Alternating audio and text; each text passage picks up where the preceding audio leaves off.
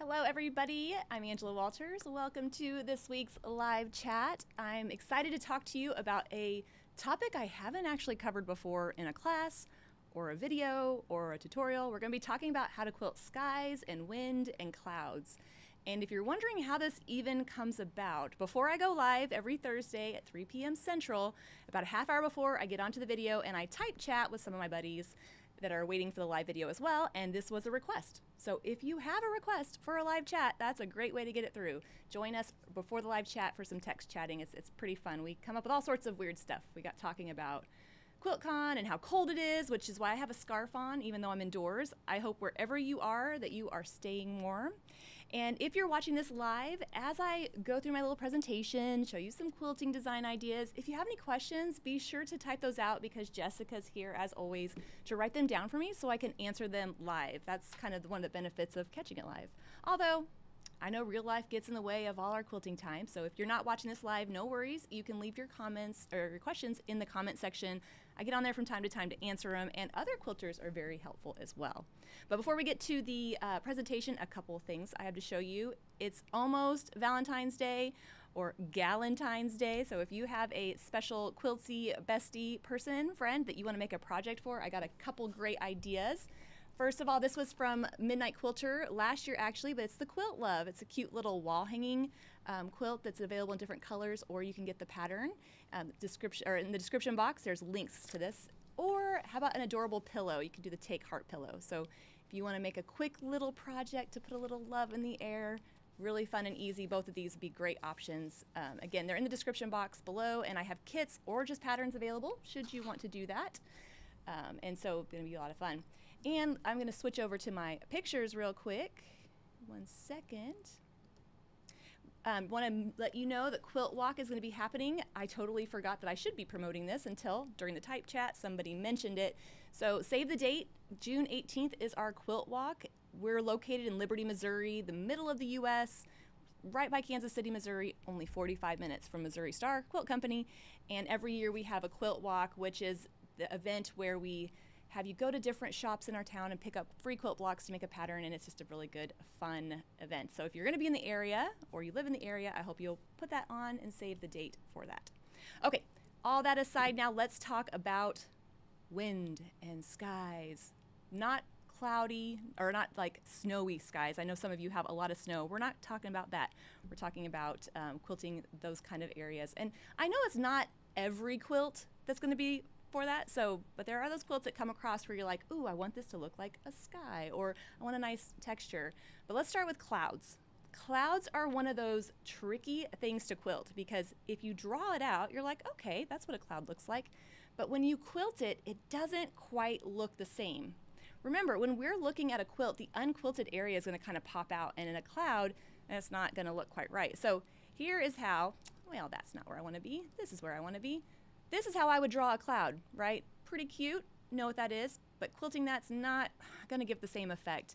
And in fact, for the longest time, I avoided quilting clouds because I just couldn't get it to look quite right. And then after playing with it for a while, I found out that it's just better if you make it directional, give it a bottom and then a top.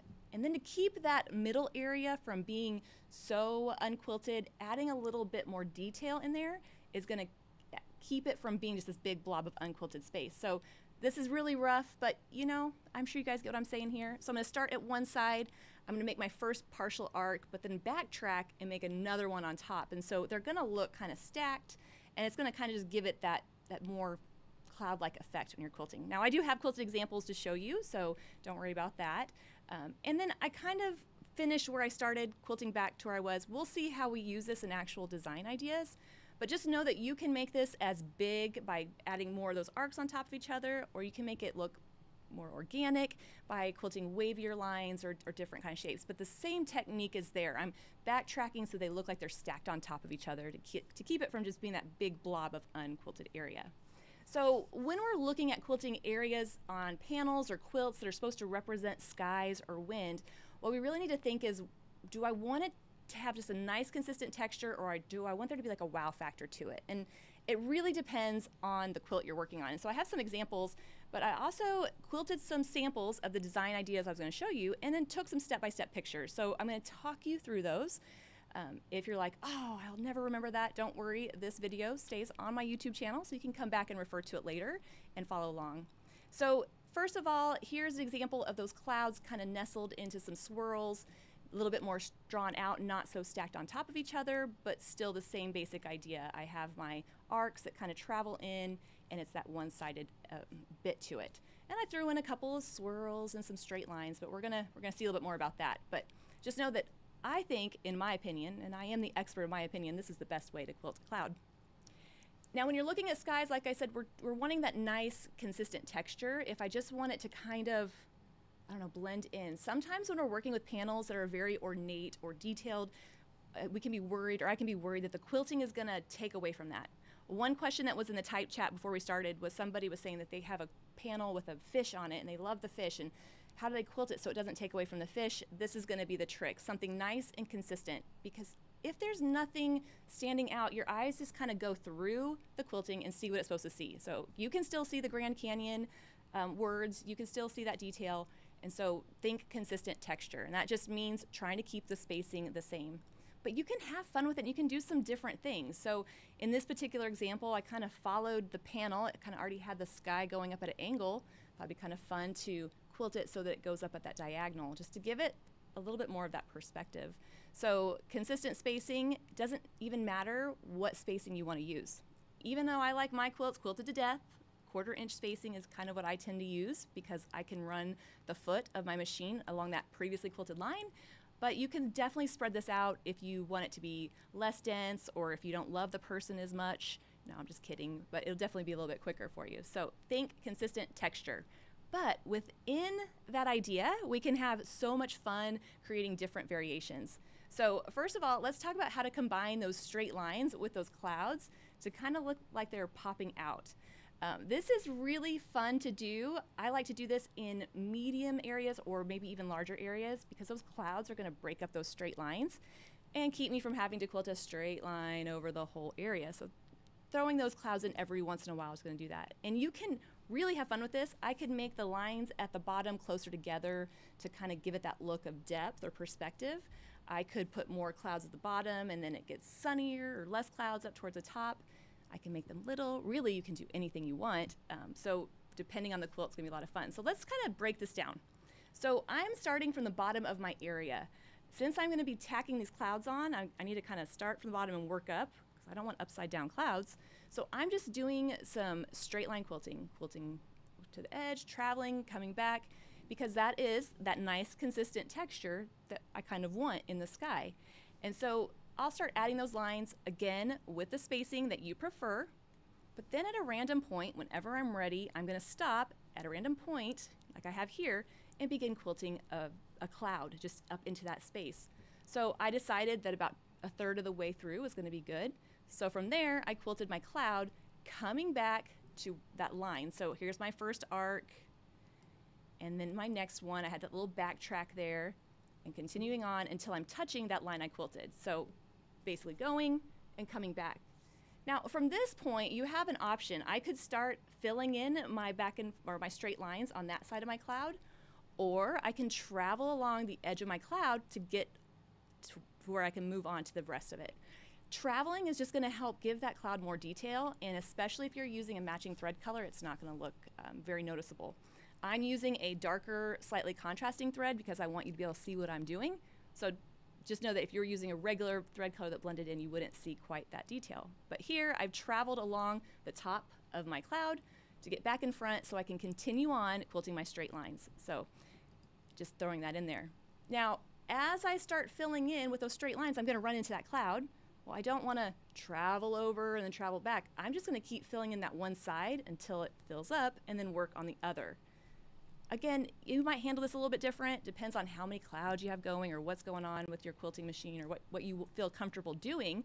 Um, but for the most part, I'm just going to fill in the area I'm at and then get over and then do the rest. So that's what I'm going to do here. I'm going to fill in to the right of that cloud.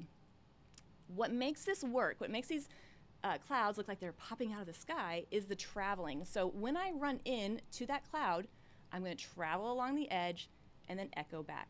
And so that's going to really make that cloud kind of just stand out a little bit against those straight lines. And Again, just some more, more echoing, more traveling until I get to the top. And you can see here, I've now filled into the right and my next line goes all the way across. And so now it's time to fill into the left of the cloud.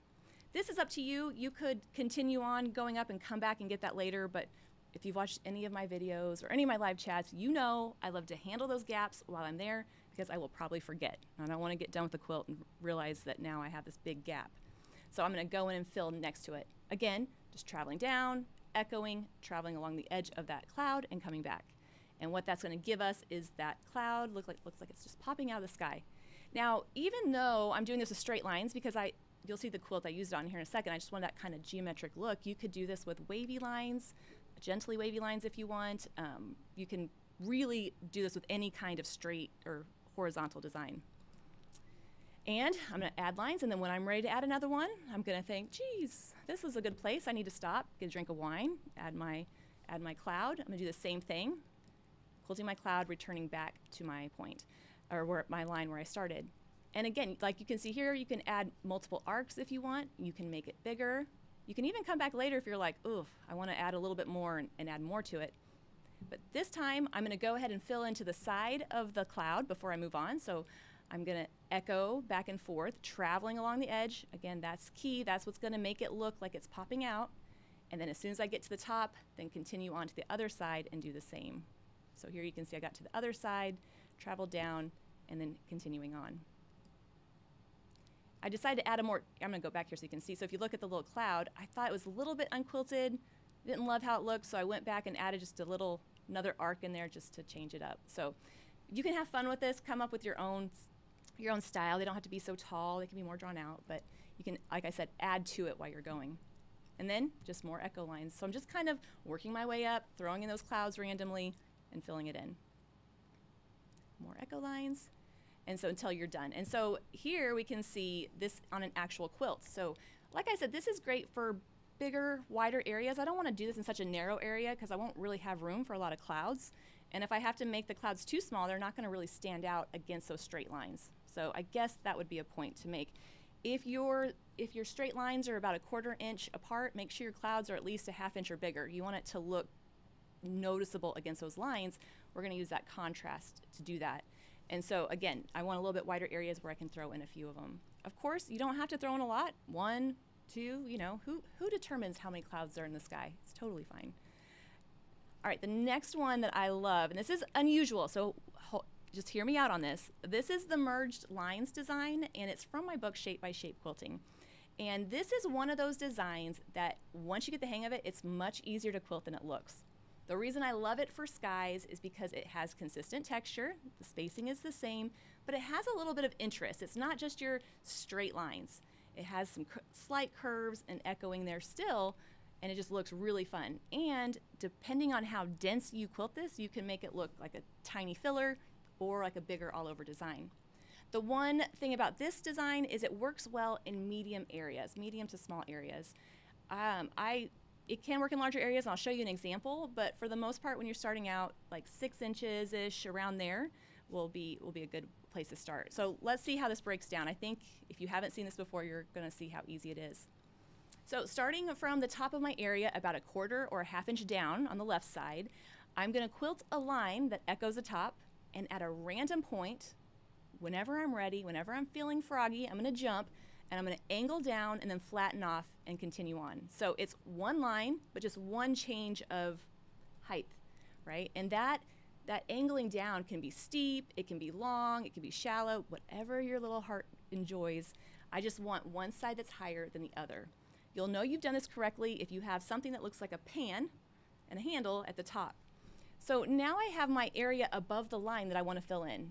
Just like I did with those clouds, I'm going to handle all those gaps while I'm there, and I'm going to fill it in by traveling and echoing the line I just quilted. So I'm going to travel up along the edge, echo until I run into the top, and we'll see that first line right there. So basically, I, I have my line. I'm just going to start echoing and filling in that area. And so I'm going to do it again, traveling and echoing until the whole thing is filled in. Right? So far, so good, right? That's no big deal. Now we're going to repeat that. So I'm going to travel down along the edge until I get about a quarter inch or a half inch below my quilting. And I'm going to do the same thing, quilt another line in the opposite direction, but at a random point, you know what to do. I'm going to angle down and flatten out. And so it's going to look, oh, here I've traveled down, and now we're going to see what it looks like. So here you can see that horizontal line, curve down, and flatten out. Reason I love this is you don't have to worry about it being so perfectly straight because when it's all done, it has this kind of organic look. I hate to use the word organic, but it does. It has this kind of, it doesn't have to be perfectly straight. So I wouldn't even necessarily worry about using a ruler here unless you really are worried about it. I just want that nice curve to it. So if you use a ruler, make sure you still get that curve. And now I'm gonna fill in the area above the line, right? So we're just following these same steps over and over again. So I'm gonna travel and echo, travel and echo. So here we can see that first one, traveling. I'm running into the previously quilted line, and I'm going to do it again, travel and echo, and it's that traveling along that previously quilted line that's going to make these lines look like they're going in and around each other. So we can see here what that's going to look like. You can travel the top side, you can, or echo the top side, you can quilt some straight lines. Doesn't matter what you put in that area, just try to keep the spacing consistent and fill it in. That's the most important thing. And once it's filled in, we're going to do the same thing again traveling down till I'm about a quarter inch below my quilted line, going over, angling, and continuing on. So here I'm down to that point, and there's my next line. Now, as you get comfortable with this design and you have a little bit more brain space to think through the next couple steps, I would try to vary the areas that you're putting your angles. It looks a lot more interesting if they're in different spots, so don't always put them in the same spot. If you're like, I'm still trying to like breathe and quilt, then don't worry, put it wherever you want. But once I have that space, I'm gonna fill it in using traveling and echoing to fill in that gap. The most important thing here, I'm just trying to keep the spacing consistent. I don't necessarily want one area of this design to stand out. I want that nice all over texture that comes with that consistent spacing. Again, using the quarter inch echoing is really nice because I can use the edge of my foot but this also looks very, very nice if you have half inch echoes too. It still looks great. Then I've filled in that area, I've added my next line, and I've echoed above it and continued on. And so now you're starting to see this kind of effect where these lines look like they're going in and amongst each other. And this is definitely one of those designs you're not going to really know what it looks like until it's done. So for those of you that are like planners out there, just know it'll look cool, uh, but you're not sure exactly what it'll look like. Now let's see what that, and I'm gonna keep going filling in that area, but let's see what it looks like on an actual quilt. This right here is a perfect space to use this design in that blue because it is more narrow. Even though it's irregularly shaped, it doesn't matter, right? I'm still gonna go to my edge of my area, travel along the end here. It just happens to be the white part of the fabric and then continue on. And so it just gives it that, I don't know, it's just a different kind of look, a little un unexpected, a little different um, without taking away from the rest of it. And then if you see in those white areas where those are the clouds, some of that idea of where we're adding our, our arcs and kind of stacking them on top of each other. The reason this doesn't really work great in large areas, it does work great in large areas. The reason I don't encourage you to start with large areas is you have to take several kind of dips because that's a long line to quilt. You won't get as much. And so when you start adding more turns, it gets a little bit trickier to fill in. But just know as you go, if you end up with it stuck with an area, you can break thread and move on. But it just looks really cool. So here, if you kind of look at the lines, you can see they're going kind of up or going up and down. I'm kind of playing around and adding more of those changes of direction. But again, in the beginning, I would definitely stick with just the one change in direction, the six inchish size area and fill it in. And I think that will help you get the design idea down and then you can build off of it. I just loved it so much. I took, I took several pictures, but I limited myself to two. So just kind of fun. All right, but for quilts where you want a little bit more of a whimsical look with those clouds, you can nestle them in among some swirls. So this is gonna, it's, it's fun, it's pretty, it's not so formal, I think. It's just, like I said, whimsical. So kids quilts, even landscape quilts, it could work, but I love how combining it with the swirls. The trick here is I want all my swirls to move horizontally or in the same direction with the area to look like wind. So let's kind of see what that looks like. Now, if you've taken the swirl free motion challenge, you've probably seen how to quilt some different swirls here. This one's gonna be longer, but it doesn't have to be a certain shape. So I added a little bit of wave here. We're gonna see here in a second how you can make it straight. And I'm gonna end in that swirl and then I'm gonna echo it. So basically I'm beginning my swirl, but this is also gonna be the platform to my cloud. So I'm going to have my clouds on top of my swirls. Just like I kind of already did with the straight lines, I'm just using a slightly different idea here. And I'm going to echo it until it's, until it's the size I like. Again, you can echo as many times as you like, trying to keep the spacing somewhat consistent. And then when I'm ready, I'm going to stop and start quilting my cloud. Just like I did with the straight lines, except now I'm on a swirl. And I'm going to handle this the same way as well. As I start filling in around it with more swirls, I'm just going to make sure I use echoing when I run into the clouds and use those um, echo lines to kind of fill in between. So here I've worked my way back. I added another little bit to the cloud. If you look here, I was like, oh, it needs a little bit more. So added another one. And then I'm like, that looks good. And then I'll fill in. So again, to the left of that, you can see those lines that are generally echoing the swirl, traveling along the edge, and filling in that spot. So the hardest part with this is we're not following such a um, regimented routine like straight line, straight line, straight line. We're going to just use echoing and swirls to fill in those gaps. So just be mindful of the gaps and, and fill them in. I can add more swirls. Again, I'm keeping them horizontal, nice and long to kind of look like wind. And then when you have those swirls, you're going to have little areas in between them, little gaps, and we're going to use echoing to fill it in. So here we can see that little weird space in between the edge of the swirl and the edge of the area. I'm just going to put some echo lines and fill it in, traveling along the edge and then moving on. So I'm making sure that as I progress down, I'm handling any gaps while I'm there. Again, with echo lines, more swirls, doesn't matter. And then here you can see I filled in that whole area. As I progress through the quilt, especially if I'm on my long arm, I'm trying really hard to keep it um, parallel on both sides. I don't want to fill in this side and have the other side be up too high. I just want to kind of build off it as I go. And then at some point when I'm ready, I do need to be able to add my my um, cloud though, right? And I'm starting from the top down, which is different than I did in the beginning. I'm not going bottom up.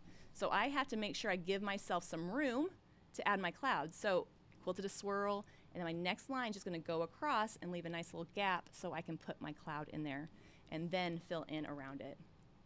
Did you think you'd ever hear somebody talk about quilting clouds so much? I never thought I would. Anyway, there's my little cloud nestled in there, and then I have my gaps around it. How am I going to handle it? You know, I'm going to put swirls, echo lines, whatever it takes to fill it in, trying to keep the spacing consistent, and then moving on. And that's how we're going to get those clouds to look like they're just nestled in the wind, being blown along the wind. Here's an example of that on a panel um, that I, it was great because I had loaded this quilt, and I'm like, I'm going to do all sorts of sky designs on here. And uh, again, it kind of works. You can see the little pops of clouds here and there, the swirls all going the same direction, um, the consistent spacing between the swirls. It just, I think it's cute and whimsical and really fun. And the great thing is, if you start out with this and it's not going so great, quilt a cloud or two, and you're like, yeah, I'm going to go to the swirls. No problem. You don't have to commit to the whole thing. You can also be more directional about your swirls. And so this is just a picture of it. I didn't really take a step by step of this one, but basically, if I want to quilt my swirls in a direction, it's going to draw my eye to a certain area. So if there's something on the quilt that I want to draw the eye to or wrap around, I can use swirls to do that, and the sky is an option for that as well. And so when I'm quilting that swirl, it's going kind of wrapping around, and then you're going to fill in the rest. And I just use two different fillers, one on each side, one with wavy lines and one with straight lines, just to show you a little bit of the difference. So if you want that swirl to not stand out so much, to be a little bit more subtle, you can use the wavy lines, or if you really want it to look like the wind is blowing through, you can use some straight lines. It, the filler that you put around it is going to determine what you see. All right, we can leave the clouds out altogether. So we already kind of said, you know, you don't have to put clouds in here. You can make it a little bit more, this is kind of like in between the straight lines and the wavy lines. This is kind of like the in between. And again, I'm doing the same thing. I'm quilting my swirls. I'm, you know, echoing the space in between them. I'm just keeping it really kind of flat, not a whole lot of wave except for the swirls. I think this would look good on like a artistic kind of quilt or um, something that looks like it's painted or I don't I can't I can see it in my head what I'm thinking of. I know you can't read my head, so it would look it would look good on a lot of quilts. So I'm going to start the swirl the same way. The biggest difference is going to be the beginning of that swirl is going to be pretty flat. It doesn't have to be stick straight. It can have a little bit of wave to it, but I don't want a whole lot of curve. I don't want movement there. I just want those swirls to pop out and be more about that than the whole piece. And so I bet you can guess next echo, echo, echo, and continue on. Now, a funny story for people that try to quilt the swirl chain, which is that last one we saw went in a bunch of different directions. Sometimes newer quilters will start with this because they forget to make that wave. So you might already be ahead and on to the next variation. So look at it that way. And add another swirl wherever I want to, and then fill in the rest with those straight-ish, wavy-ish lines. Again, not stick straight. I'm not getting my ruler out, but I'm not adding extra wave to it either. Adding some more. And then again, when I run into those swirls, I want to travel along the swirl and then echo back out. That's what's going to make them look like those swirls are really popping out. And then above it, and like any filler design that you work with, I'm going to use echoing to maneuver my way around the area. So if I'm to the right of the swirl and I need to be back to the left, I can echo around the whole outside, which is what I've done there. And then fill in the area. When you get to quilting, it's not going to look just like this, right? You're going to go about it slightly different. Just look at when you're not sure where to go, just stop and think, what do I need to fill in? How am I going to get there? And how am I going to fill it in? And I think you're going to find it's going to work out great. Now, for panels that are overly complex or areas that I don't want to add a lot of detail, I want it to just kind of be static, uh, this back and forth line is a great option, but even within that, we can add a little bit of detail. So these back and forth lines are kind of like matchstick quilting, except it's closer at the bottom and further apart at the top. You don't have to do that, but I do love how it just gives it a little bit of depth or perspective. Now, when we're quilting straight lines over the whole quilt, if I'm dealing with a big area, I don't really love quilting one straight line over the whole thing, only to come back. So what I'm doing here is I'm taking that matchstick quilting and I'm breaking it up into columns and quilting it in sections to make it a little bit easier. So if you're working on a small throated sewing machine or you're just not comfortable going long distance, this is gonna be the perfect way to do it. So starting at the bottom, I worked my way up, quilting my back and forth lines in different widths. Right? If I'm going to join my columns, I don't want them all to join the same place. I want them to be kind of staggered so that it all blends in. And it's up to you if you want to change the width or just keep them all the same. If you spread them out, you're going to have something that looks, you know, really, you know, flowy to it. And if you want to make it more dense, you can make them closer together. But as I come down, I'm going to add my second column. So I'm basically coming right back down, making them kind of come close to each other, those back and forth lines, but making the other side, again, different widths. And what's really cool about this is your columns can be as wide as you want them to be, depending on what you're working on, what your preferences are. If I'm working on my long arm on a big quilt, they might be wider. It, it doesn't matter because it's the spacing between the lines that determines the density, not the width of your columns. So just make them a size that feels comfortable. And then as I get to the bottom, I'm going to work my way up, filling in the rest of it back up to the top. Again, trying to line up those back and forth lines or matchstick lines, not stressing out about it.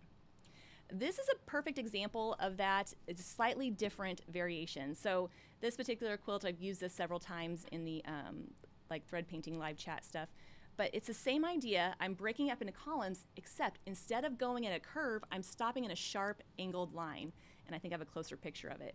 So you have to kind of look closely, but instead of having that curved bit, I'm going over, coming down at an angle, and coming back. So it's more of a geometric version of that matchstick quilting but it just gives it a just different texture, just a slightly different look, especially if you want it to have that geometric kind of uh, shape. Now this is something I love to do with echo lines, and we're going to see this in an upcoming episode of Midnight Quilter, where I use this as a way to break up my echo lines to make them easier to quilt if I'm working over a big area. But just know within that back and forth line, you can change up the, the size and have fun with it. And then you can see a little bit close-up picture above the clouds, that idea. And what's fun is that little pop of unquilted area where those two come close but don't actually touch, that's just gonna give you that, that different texture and just kind of make it look interesting. And I was going back through all my old pictures. Whenever I'm getting ready for a live chat, I start pulling up all the past quilts. And it's kind of hard to see here, but when I went through and started filling in the sky, I was just putting in straight lines. I would go out and come back and then travel down but I actually use different colors. So along the right, it's a little bit darker yellow, and the color that I'm quilting right there to fill in the space is a lighter yellow. So even within the idea of breaking it up into columns, you can change the thread colors as you go just to give it a different effect. Um, I would keep it similar just so you get a shaded or textured effect. I wouldn't necessarily go too crazy, but it's a fun way to use thread colors um, to really kind of give it some depth. Or to play with all your favorite thread colors. And I'm getting, I'm getting ready to land this plane, so if you're still hanging out, I appreciate it. If you just want to give it a nice texture, a nice all over look, an elongated swirl going in all different directions is going to be one of the best ones to go with. It's great because there's not a lot of traveling, so you don't get the thread buildup that you can get with others, but it does have a nice look of movement without drawing your eye any one place. So in this particular instance, I'm quilting my swirls in all different directions and then filling in the areas with echo lines.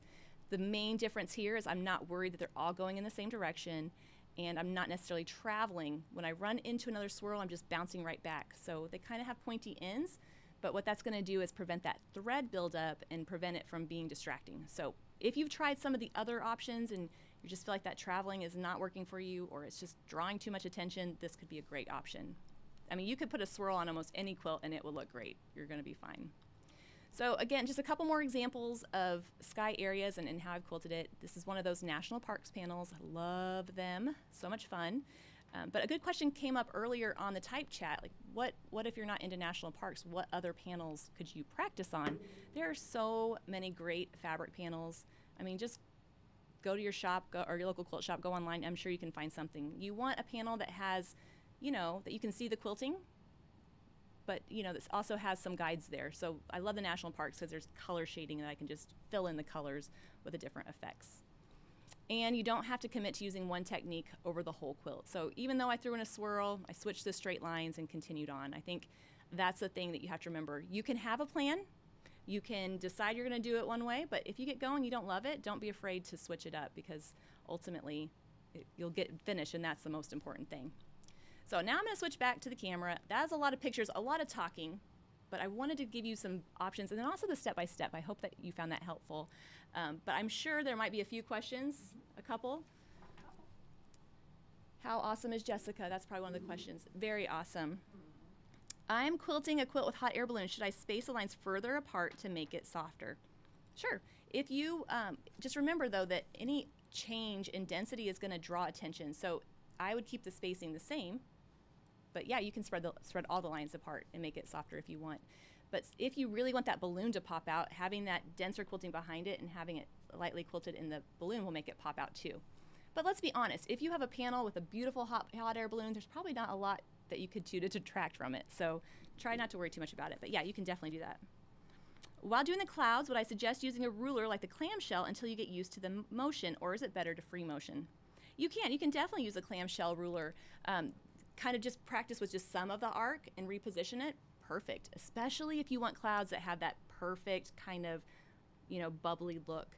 But some quilts might not need that. You might do something like the national parks where those perfectly round ones can look a little bit more cartoonish. So maybe you want it to be a little bit more organic.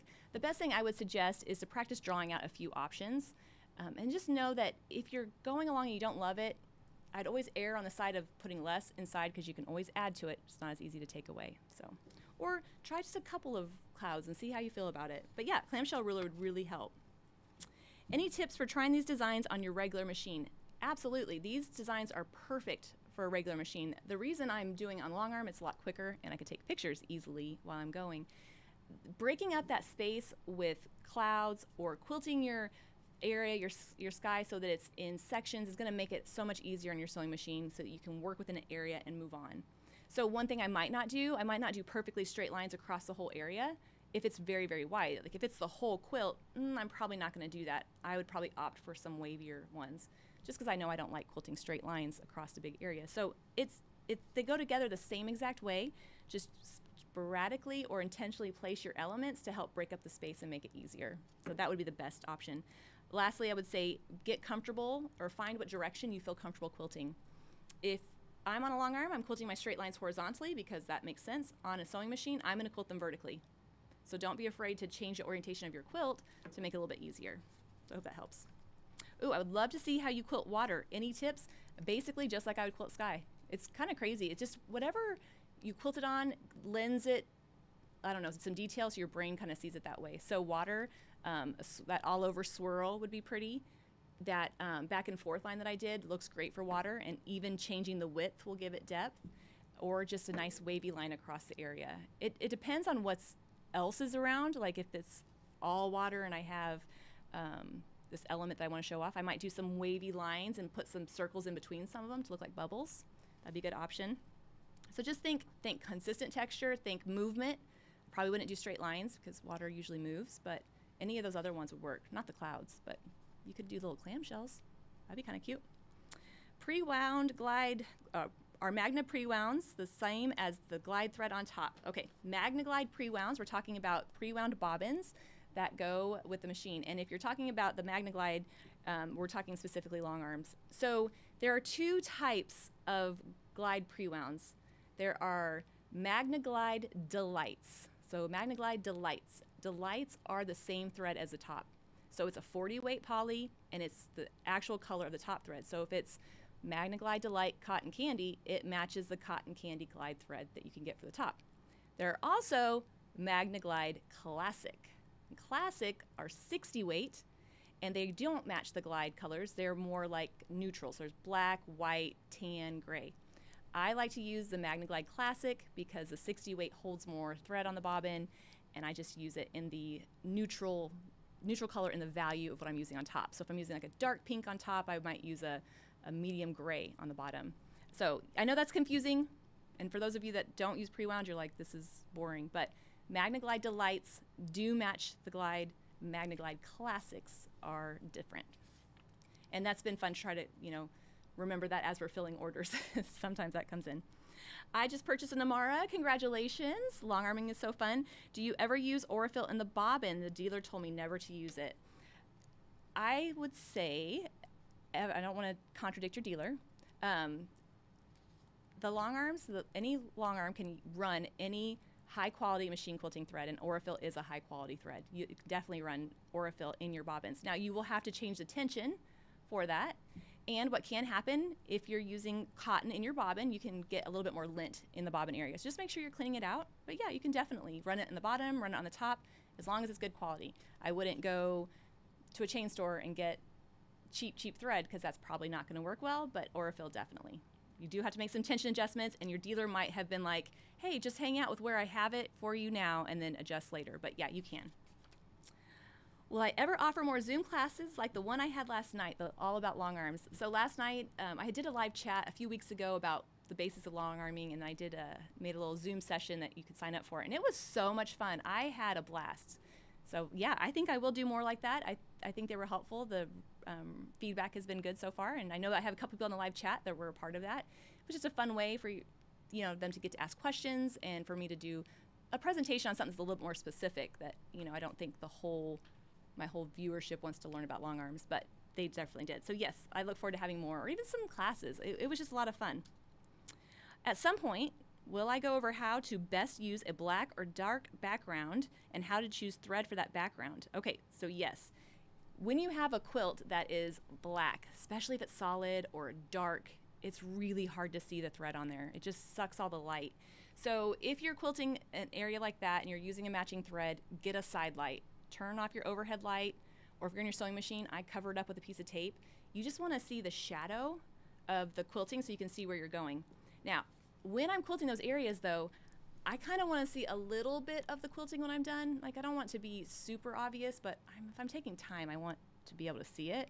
So if I'm working with a black fabric, I'll probably do a dark gray. Or if it's like a dark blue, I might just do a blue a shade or two lighter, just so you can see it. Now, if you're like, oh, I don't want to do that, then you can match it if you want. But for the most part, you want to see the quilting a little bit, and using that, that dark, dark fabric really just absorbs the light and kind of hides it. And I will say, the great thing about quilting dark fabric is everything looks good on it. When you're using lighter thread on darker fabric, you kind of get this cool effect, and it everything looks good. So it's a, a lot of fun. It's when you're working with a light fabric, so you're like, well, I can't really do a dark pink because it's not going to look great. So yeah, I think you'll be fine. Do I have any long arm classes coming up? Well, it just so happens I am going to get the Handy Quilter truck in May here at the shop. I haven't put the dates out for that yet, so just say the date. It's the 11th through the 14th. Is that right? Yeah, Jessica's saying yes. Oh, she wrote it on there for me. Thank you. Um, yeah, so we'll have long arm, four days of long arm classes, and so I'll be announcing that pretty soon. So just keep an eye on the website, or I'll, I'll definitely announce it here. Um, long arm classes are a lot of fun, especially when I get the truck full of long arms and can do them hands on. So, yes, definitely. So, say the date May 11th through the 14th. Quilting is my therapy quilt shop.